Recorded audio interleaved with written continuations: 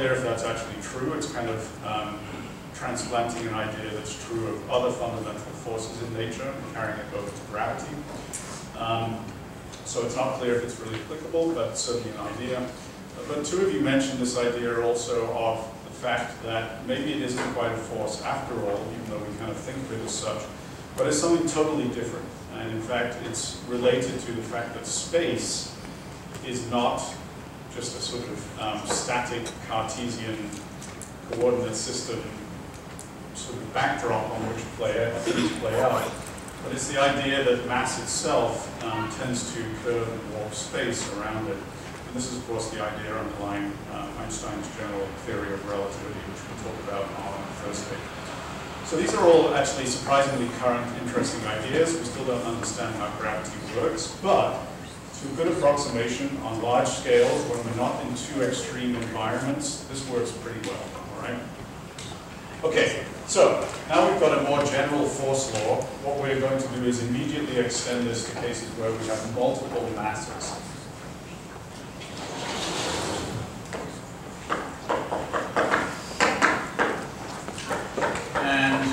surprise, we're just going to apply the idea of superposition as we've done throughout the semester. So when we had free body diagrams back in the day, we did superposition of forces to find net forces, accelerations, so on and so forth. We're going to do the exact same thing here. And there's so little to say about this, um, I'm pretty much going to leave it at that, other than to say we may have to worry about different directions of gravitational forces acting. So not a particularly realistic example, but you know, instead of having two objects like this, if we have three objects like this, of course there are gravitational forces between all of them. So we have to look at permutations of forces, and if, for example, we were trying to figure out the net gravitational force on M3, I need to worry about the fact that this one is being pulled towards M1, and it is being pulled towards M2, and I have to do a usual superposition of forces to get the net force in this case. Okay? So that's all I need to worry about, and the fact that there's now a directional dependence here, and I will need to do a vector summation of those forces to get the net force. All right, so all fairly uh, straightforward. Let me just come back briefly to say something about little g, the local acceleration due to gravity, and just elaborate on that slightly. Um, and then we're going to talk about, before closing, gravitational potential energy. So let me come over here.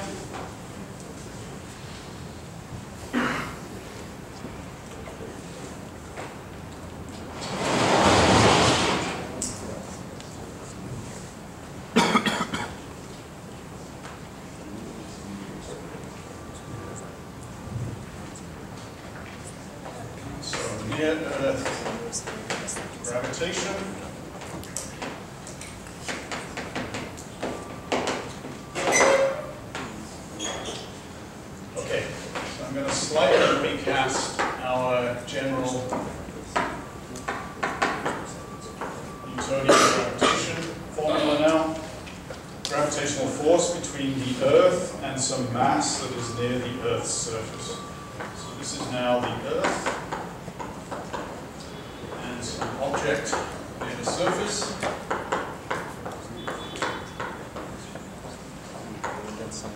And again, remember that r is the distance between the centers of these objects. So whenever you are using this in a near Earth case, as we're about to, I have to worry about the distance of the object mass m from the center of the Earth, not from the surface of the Earth. So keep that in mind. It's always a place where people screw up on something simple.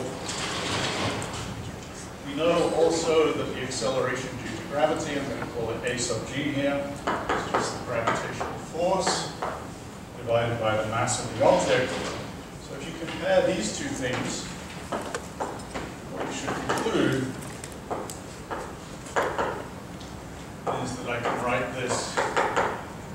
Followers.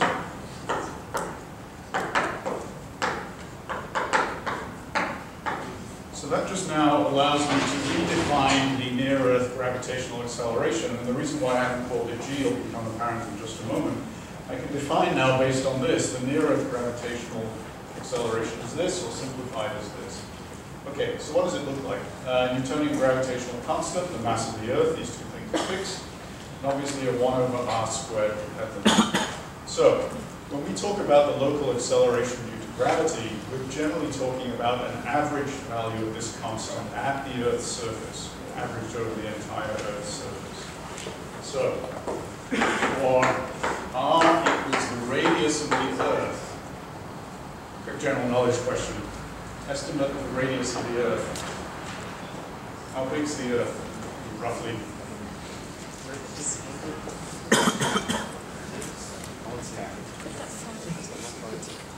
See if anyone gives me a Yeah, go ahead.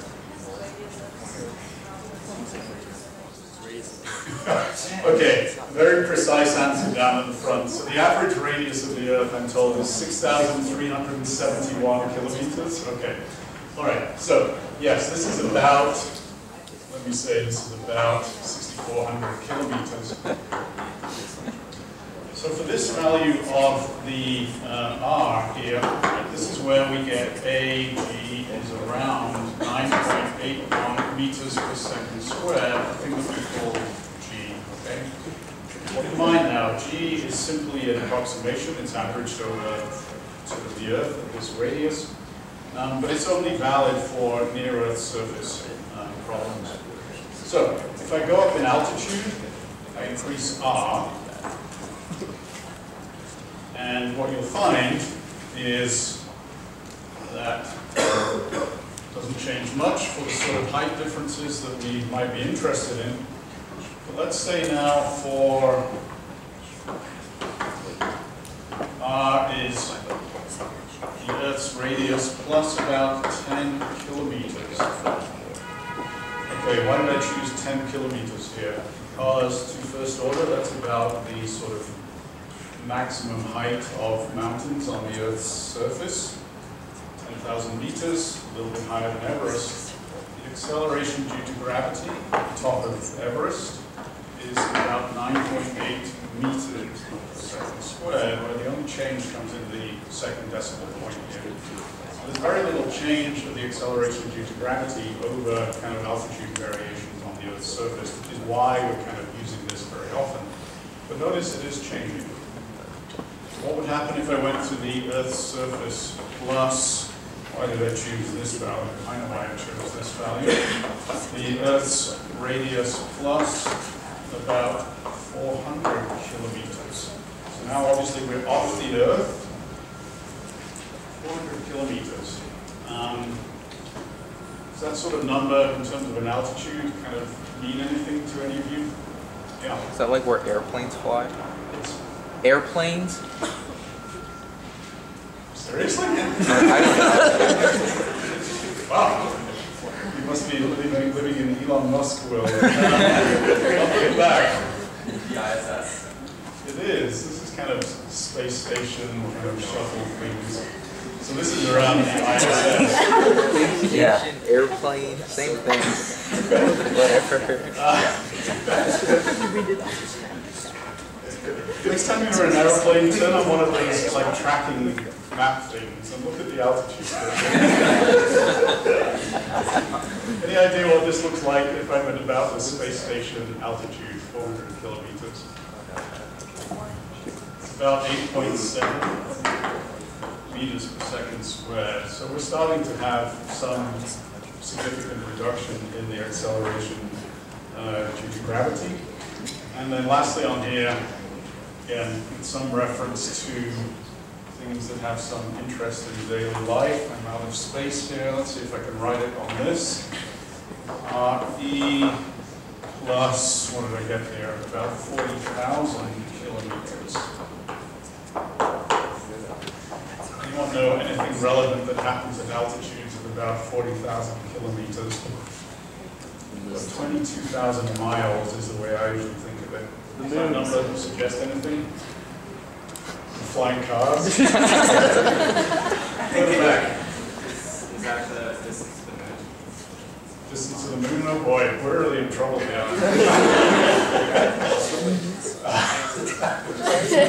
Yes. I want to say the sun. Okay. I've never done this before, but you're getting an F. Yes. Go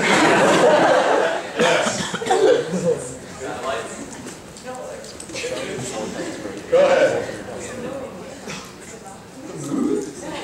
Seriously? This is forty thousand kilometers. How far away is moon? Okay, so the moon's about a quarter of a million miles away, so four hundred thousand kilometers. So this is a tenth of the way to the moon. Oh, okay. Huh? I can, I'll redeem myself. Okay. Is that like about like the end of the atmosphere? Or oh, Actually, the atmosphere runs out way lower. It's kind of not, depends how you measure it. Of course, it's a continuum, but the atmosphere is really only about 20 kilometers. Yes. Is that where the Tesla is floating around in the rocket? No, Actually, it's I don't know where that is. I don't think it's this high, but I'm not sure. Okay, last, last info. then we'll move on. All right. Geostationary satellites. Oh. Okay, so satellites, geostationary, ones that we put in orbit, we talked about this on Thursday now at this point, so that they're moving at precisely the speed that they stay above a fixed point on the Earth all the time. Those are very useful for things like communications. Um, you know, if you're using satellites to bounce signals around, you'd like them to be in kind of predictable the same place. So, if you are at about the altitude of a geostationary satellite, the local acceleration due to gravity is about 0.2 meters per second squared in this case. All right. So, let's see how we're doing. Joking less about I'm about to run out of time, which means I'm not going to have time to fully go through our calculation of gravitational potential energy. Just, um, just as we're wrapping up here, first thing on Thursday, because I'm running behind, we're going to talk about the derivation general expression for gravitational potential energy. I want to make sure you're awake. How did we determine the expression for near-Earth gravitational potential energy, quantum the gravitational force? How do I define potential energy? Uh, like equation Equation. Okay, I'm, I'm yeah. All right, so that's how we got it um, for near-Earth gravity. So this is a near-Earth MGH or MGY. How did we get there? How did we derive that? Yeah. What was I integrating? Okay, so let me remind you that we can always talk about changes in potential energy as the negative of the work done by a conservative force. Let me remind you, we're still talking about gravitation. It's definitely a conservative force. So we expect to be able to define a gravitational potential energy. And so here, I'm talking about work done by gravity. Yes, I'm going to need to worry about a, let's call it a force times displacement integral as I move over a range of separations here, okay? So the thing we're going to do first thing in class on Thursday, and I'm going to try and move quickly at the start of class on Thursday because I do want to cover some of the more fun stuff about gravitation. We're going to quickly calculate this by plugging in FG from wherever I have it on the chalkboard right? I'm going to get a more general expression for gravitational potential energy. Okay, let's stop there before you collect everything. Reminders of a few things. If you tried energy conservation in the second problem on the midterm, please bring back your exam script to me. You get to class on Thursday if possible. I don't have office hours. Instead, I have an office hour from 10 to 11 tomorrow. If anyone's interested in the lunch on Thursday, uh, to a couple of slots, send me an email. Okay,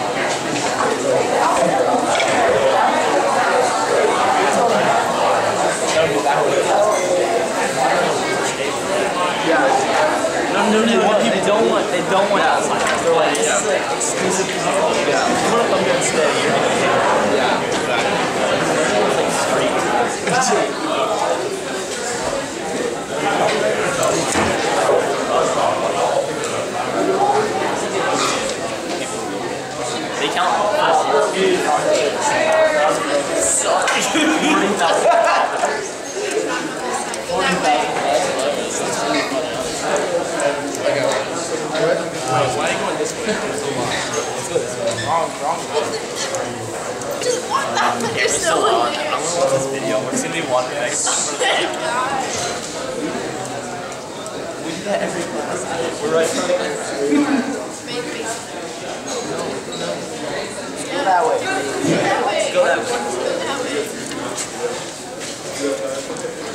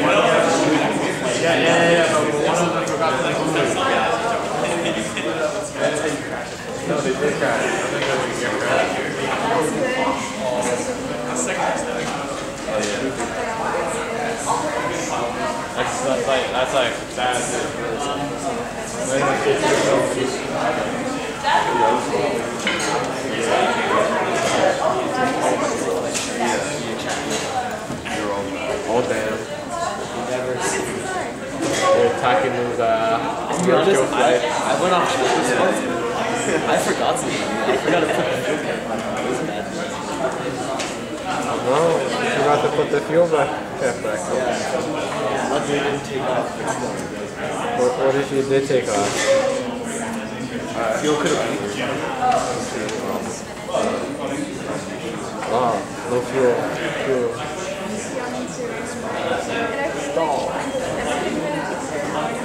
These are unrelated. I don't know, no, it's not. It's like, hooray, pull up, hooray, pull up. Also, it reflects it. No, I, so it's like, uh, my friends do that. Oh, it had it. No, no, no, no, no, no, we didn't get that. No, dude, dude, dude. I think it's Oh, like, uh, things? Uh, yeah, yeah. Because they find like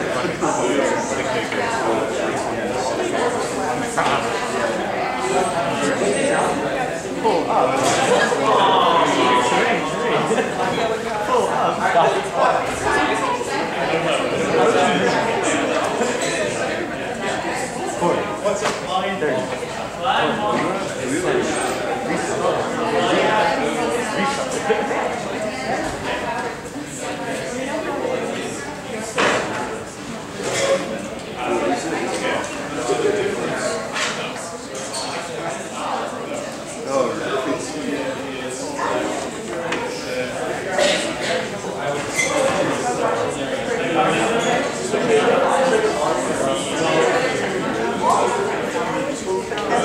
kicker.